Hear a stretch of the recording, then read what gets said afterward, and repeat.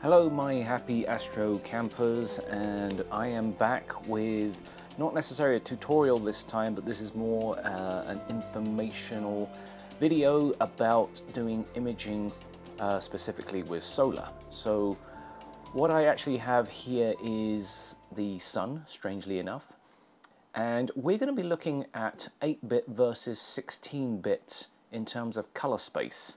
Um, the program I'm using is SharpCap Pro and as you can see in the drop down box here we have two options here for two different settings 8-bit and 16-bit and if you have a color camera you'll have other options such as 24 and so forth and so on.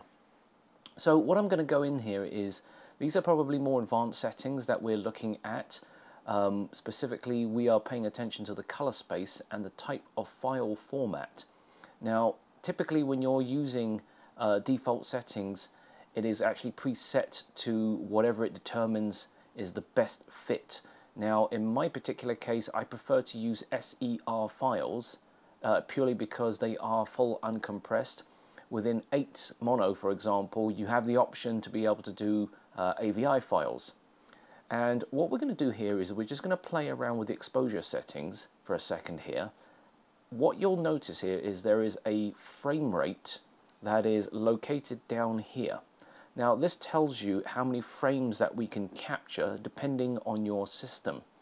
Now being selected in 8-bit versus 16-bit we're going to obviously see a big difference. When we're here in 16 the frame rate actually drops down to around about 60 frames per second and we can actually change the performance based upon the exposure time. So if I was to increase it you can actually see the frames per second drop down quite drastically.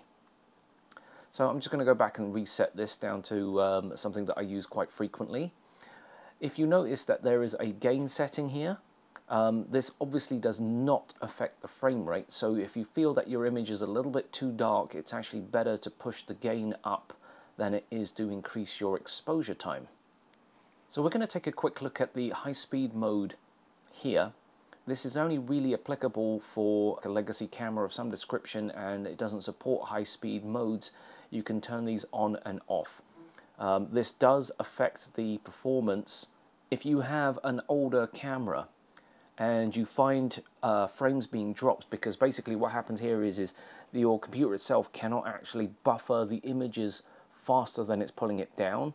So you, you kind of have to slow everything down and the easiest way to do that is to simply modify the high speed mode. Um, typically, if you have a USB 2 camera, you need to set this to be off as opposed to on.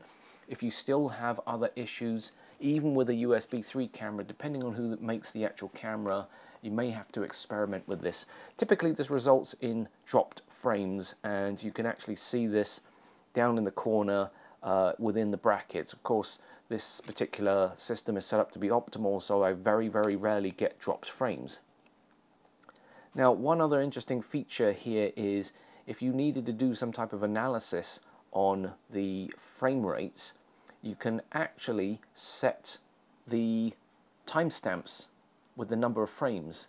And that shows up in the top left hand corner. Typically you can actually modify this so it shows up in different places. Um, but typically I keep this off because I don't want a timestamp all over my images because I'm not doing anything specific now, one of these other parts that we're going to look at here is the pre-processing. Um, you may have noticed that in a previous tutorial that I was messing around with dark frames uh, and flat frames and things like that.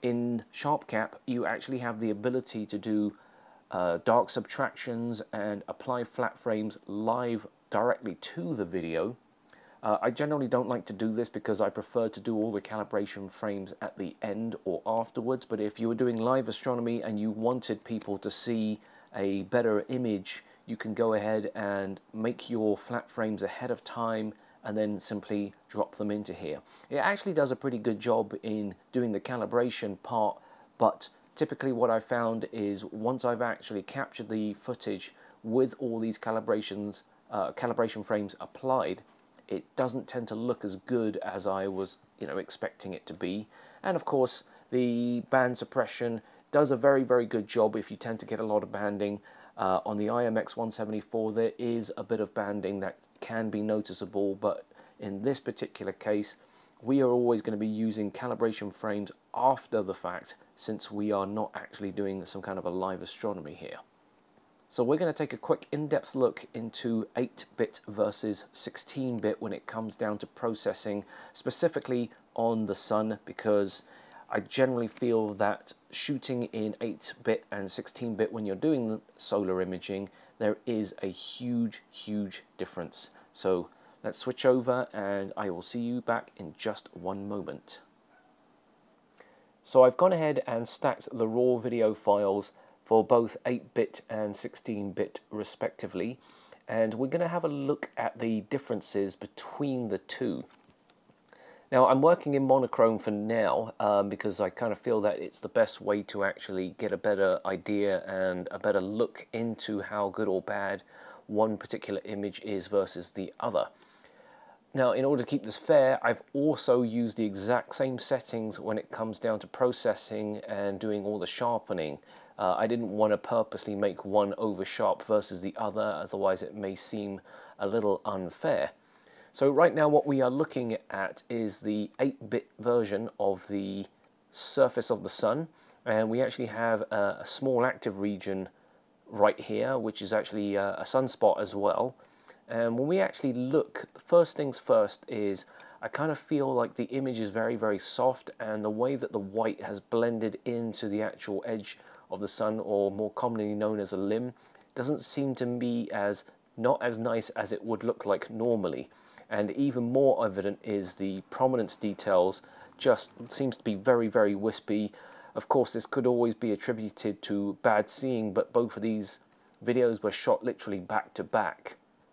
So now we're going to go over to the 16-bit version and already there is a huge significant difference here the prominence details especially the one in the corner here is a lot sharper and it, it almost looks like there's more shading to it and of course the actual blending looks a lot better as well.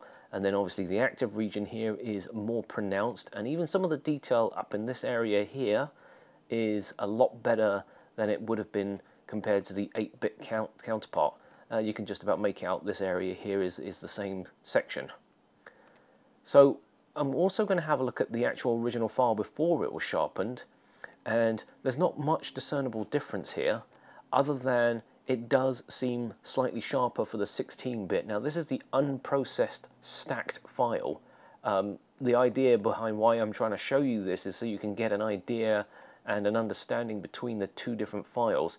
Again, I'm going to make these uh, files available to everybody who is a Patreon subscriber so you guys can download that data and have a go at processing it yourself and then check out the difference between 8-bit and 16-bit.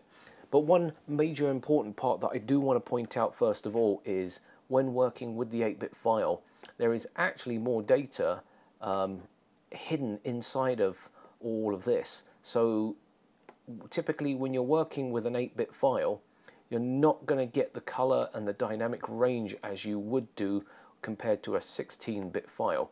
And I can show that we're going to convert this over to a true 8-bit file and I'm going to uh, mess around with the HDR toning to see what the major difference is, is going to be and already I can tell just by looking at this it's not looking very very promising. And there's a lot of noise especially where the blackness of spaces and where all the prominence detail would actually lie including all the spicules it just seems very very muddy very very noisy and, and just simply not very good. So we're going to take a quick look now at the 16-bit version. And you can see there is already way less noise and if I increase all the detail we can actually start to make out that the prominence details is obviously a lot better off than the 8-bit counterpart. Now again there is obviously a, clear trade-off here because in terms of file sizes, the 8-bit versus the 16-bit file, the sizes is absolutely amazingly different. Now, just to give you an idea, we're going to have a look at the original 8-bit file here, which is like 4.6 gigs versus the 16-bit file, which is double the size pretty much at 9 and a bit gigabytes. Uh, so it's quite a big difference here, and it's actually going to be even smaller if I had actually saved all these files in AVI format. In fact, it probably only would have been roughly a gigabyte, if that, for the 2000 frames that I had actually captured. So hopefully this gives you a good insight in the differences between shooting 16-bit versus 8-bit and hopefully this will clarify a few things for you and I look forward to hearing from you guys and seeing some of your work.